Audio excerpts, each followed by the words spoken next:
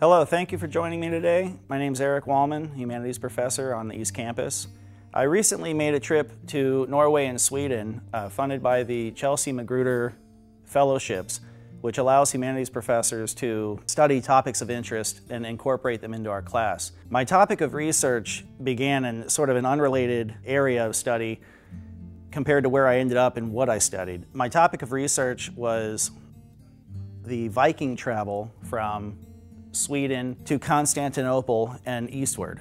And it's a kind of a strange story on how I got into this topic. I uh, one day was showing students a Renaissance painting. It's the Arnolfini wedding portrait by Jan van Eyck. And the students were doing some study questions and they said, Professor, what made these merchants rich? What allowed them to make this money that allowed them to buy these paintings, which then reflect their daily lives and religious ideologies and such? I was kind of stumped on the question. I didn't really know. And I said, well, you know, they, they definitely traded along the coast of Europe. And then a student said, well, how do they know it was safe to do so?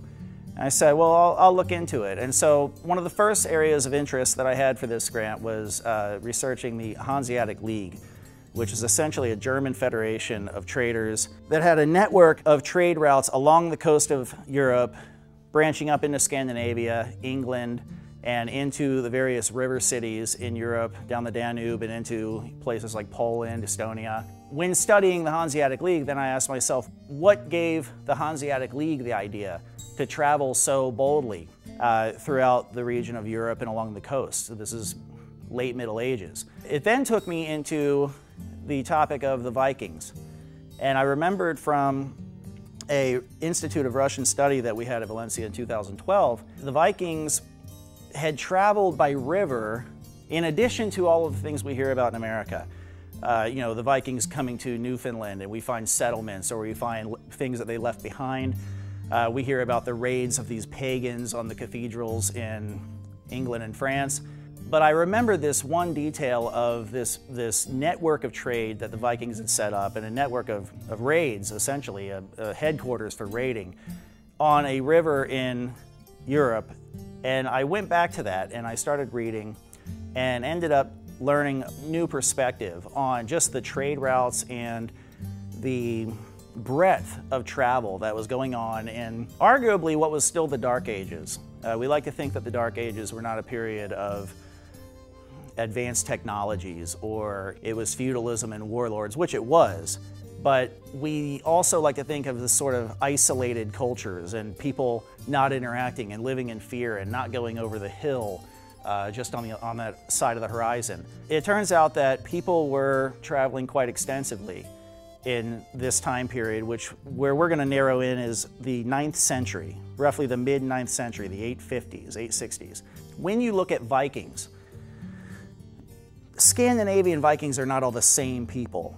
Norwegian Vikings raided and explored different regions than, say, Danish Vikings. And in this case, with the Swedish Vikings, they're the ones specifically responsible for exploring the rivers that run through Russia and down into what is modern day Ukraine, into the Caspian and the Black Seas. Uh, primarily, what we're going to look at is the attacks on Constantinople and what came as a result of attacking Constantinople.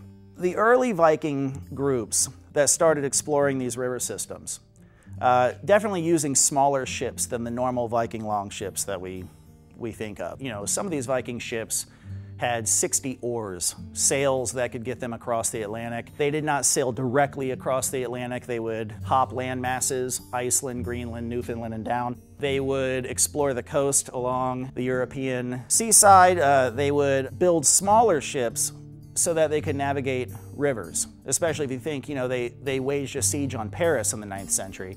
You can't just sail a 60 oar ship that's, you know, 70, 80 feet long down these rivers that might have shallower spots. You need smaller ships. And so uh, river travel is something that they were experts in just as much as ocean travel. When they attacked Constantinople, the Vikings are, well, in, in any of, of the attacks in general, the Vikings are kind of portrayed as these pagan raiders that you know just kind of roll in, bust everything up, light everything on fire, uh, kill lots of people, and take what they want and they leave.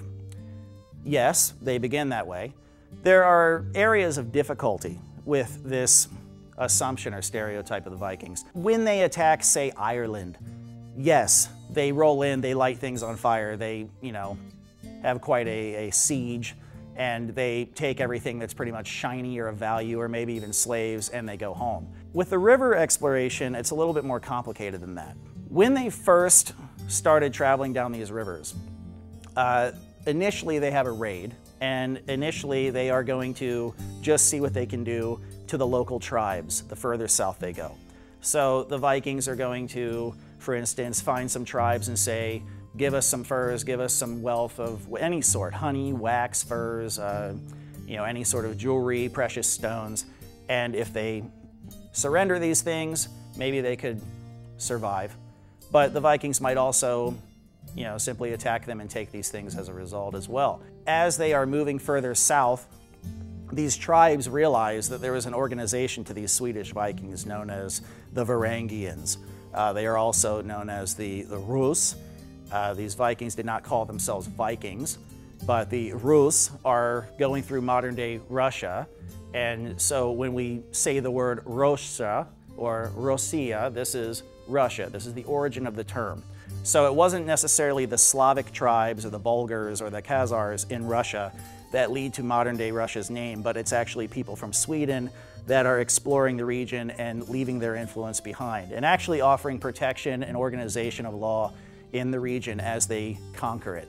Cities like Kiev in Ukraine, Novgorod, these are cities in the modern day that actually have Viking roots in terms of what gets these cities going and becoming official trade centers or areas that have some sort of order and civilization in them and are uniting tribes of people. When the Vikings attack Constantinople, obviously it's this massive city, has an emperor, it has churches, it's ripe for the picking.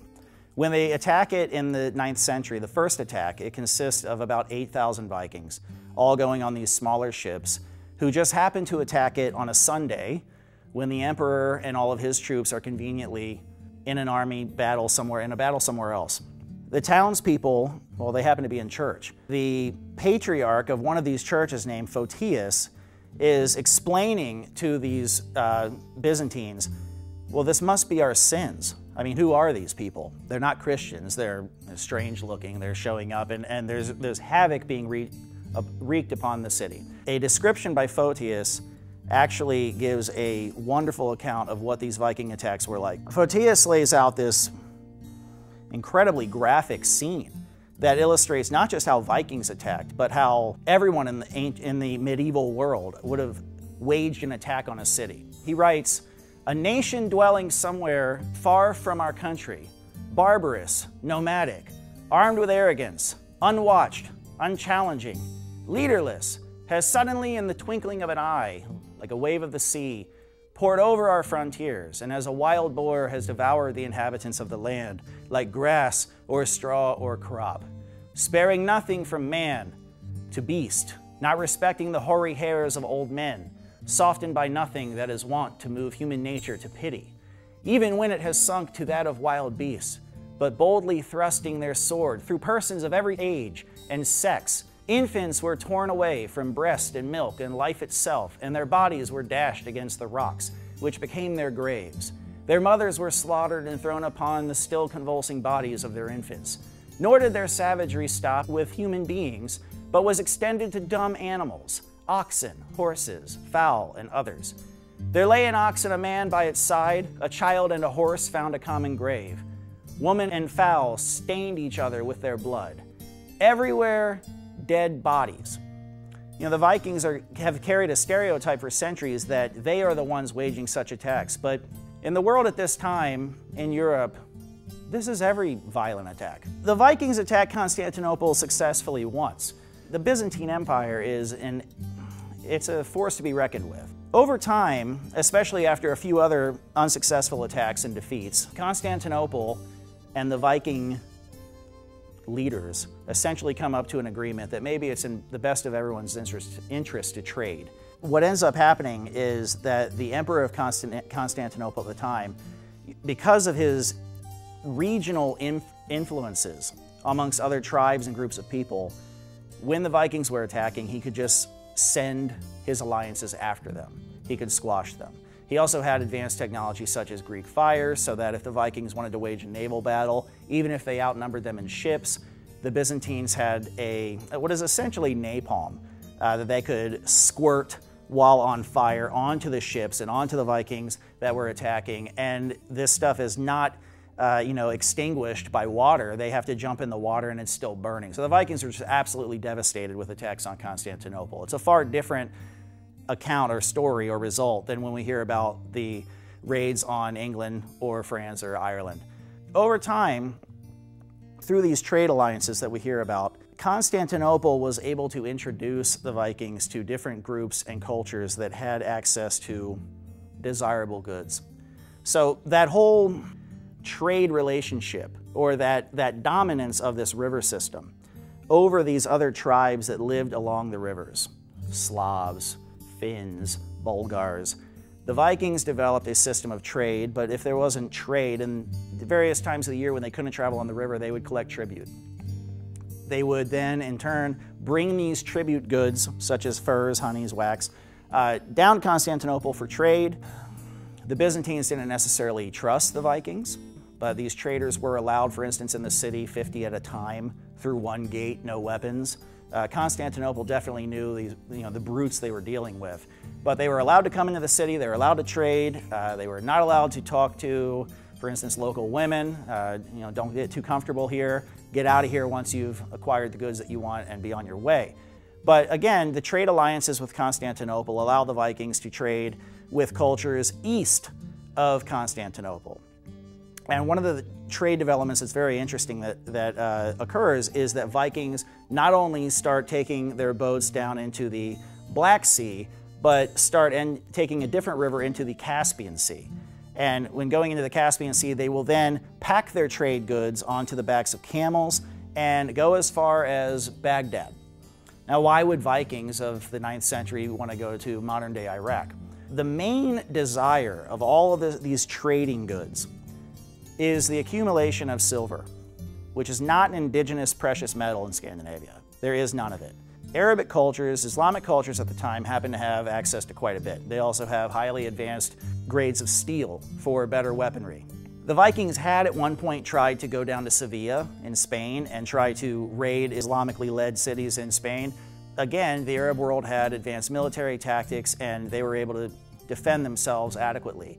So instead, using their connections through Constantinople, they were able to generate enough trade agreements. Uh, they were able to learn about enough markets where they could go and trade their goods. And actually, one of the most uh, vivid accounts of the Viking people and what these traders were like uh, is by an Islamic trader named Ibn Fadlan.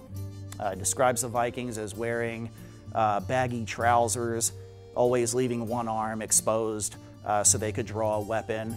Bearded, tattooed all over, all over the faces with you know things like trees and dogs and cats and strange uh, forest animals or plants or mythological symbols.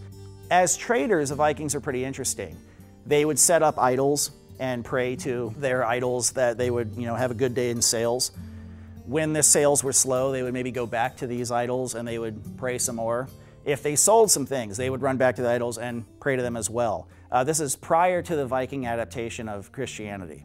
Ibn Fadlan is uh, one of the most uh, interesting accounts from the Islamic world about what the Vikings were like in terms of their burial practices as well. Uh, describes a, a, ship burial. Uh, the Vikings, when their friends would get sick, and you have to think they're quite a ways from home, when the Vikings would get sick, they would give their friend bread and water, put him in a room by himself and quarantine him. If he made it, he made it, he lived. If he didn't, then they would have uh, quite the party based on his possessions, splitting them up in three ways. They would leave a third of his treasure hoard in the grave with him. They would give a third of it to his family, and they would spend a third of it for themselves on having a giant party, on sending their friend up to Valhalla to, you know, drink mead with the gods. The way that they would have the funeral is lay their friend in the boat or you know, in a grave surrounded by his goods, as well as a few animals, uh, you know, chickens, oxen, pigs. They would sacrifice these animals with them as well, sometimes also a slave to take to the afterlife, and of course their money or treasure. And they would light this funeral pyre on fire and they would essentially get drunk.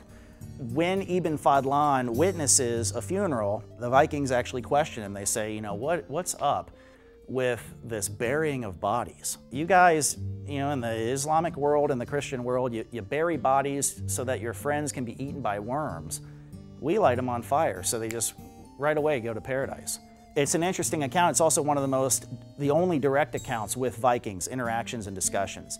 What's interesting though with the Islamic world is that at this time, 9th century, we have a collection of uh, groups. We have various groups trading through the Mediterranean, Middle East, and with the, the Asian or the Eurasian world. We've heard of the Silk Road perhaps, and the Silk Road dates back to one or two centuries BC. This is how the uh, Chinese dynasties were actually trading silk with the ancient Romans. We rarely learn anything about this in the American curriculum of European history. It's very interesting how European and Asian cultures uh, overlap for centuries almost sort of like this Venn diagram. And we rarely hear about, for instance, the cultural histories of Russia or the various cultures that are in that Eurasian overlap area. We hear about the Asian, we hear about European, but we have this rich history of the Eurasian cultures and the Silk Road being in full operation in the 9th century. So Ibn Fadlan is obviously is a trader, an Islamic trader, working on these networks of the Silk Road and the Middle East, interacting with Vikings from Scandinavia. A few interesting objects have been found that illustrate the breadth of Viking travel and just the directions so many things were coming from that were being exchanged and taken back home. In a small region of Sweden on an island called Helgo Island, there was a archaeological dig back in the early 50s, I believe. And in one dig near what was a what they believed to be a metal smithing shop. The Helgo treasure was discovered. It consists of three main items. It consists of a Buddha statue. It's a reliquary that scholars of Asian culture have been able to track back to a area in Pakistan, just above India, and just by comparing it to other Buddha statues. Now, how does a statue end up all the way in Scandinavia?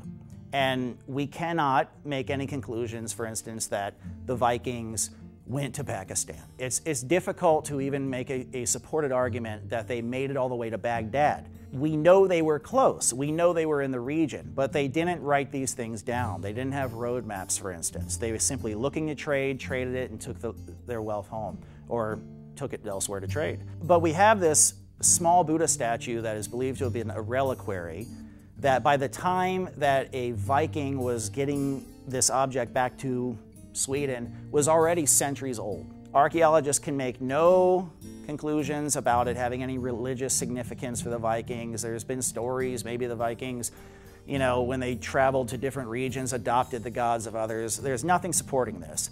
The only evidence as to why this thing ended up in Sweden, why it was in a blacksmith shop, is because it's a bronze figure with copper and silver inlays maybe because it's near a smithing shop, someone was actually interested in its, in its design and its construction and studying how these metals could be smithed together. Another interesting find is a bishop's crozier from where they think is from Northern Ireland or some of the British Isles. The bishop's crozier is, if you look at it closely, this is a fish that is consuming or ejecting a person is believed to be a depiction of the biblical figure Jonah. And when I say bishop's crozier, I mean this is the little ornament on the top of the staff carried by a bishop, a Christian bishop of the time. Some folks doubt that this is actually a crozier just due to its size and maybe say this is the this thing is remarkably similar to the finials that decorate the back of chairs seen in illuminated manuscripts from this era as well, where the evangelists sitting in these chairs are sitting in a chair with a finial of this kind. If you look at this image of the Book of Kells, uh, we see an illuminated manuscript image, and if you look where that little figure of Mary is sitting, on the back of the chair, you'll see the finial, and that is another hypothesis for what this object actually is. And the third item found of, of, significant interest is a Coptic ladle. The Coptic ladle is coming from the region of Egypt, Ethiopia. And so, just in these three objects found in one archaeological dig in one specific spot, we see travel that reaches as far east as Pakistan, as far west as Ireland or Britain, and as far south as Egypt. This is incredibly surprising when you think about the characterization that we make for the Dark Ages an era of paranoia, an era of feudal warlords that fight over territory with one another, an era where peasants have no idea what lives beyond the hills on the out, you know, outside of their village. They're not allowed to marry anyone that lives outside of their feudal territory. So, you know, it sounded like just the Crusades were the first examples of cultural diffusion in the Middle East, but the Crusades happened three centuries later. The interesting aspect, the conclusion we can make is that these travel routes essentially thrived throughout the Dark Ages. In fact, if the travel routes of the Silk Road were going on, uh, you know, we're taking silk to Rome as late as the third century AD, we can assume that maybe during the fall of Rome, trade slows down, but international travel at this time is, is quite impressive.